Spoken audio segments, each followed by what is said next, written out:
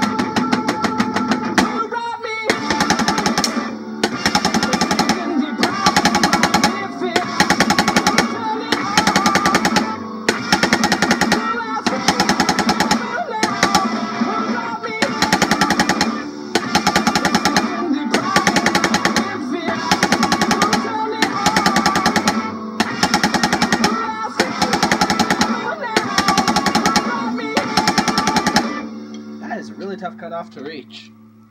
It's the lack of any unisons, but I'm glad I got it. I was actually expecting it to be around 10,000 higher based on a 5 star cutoff.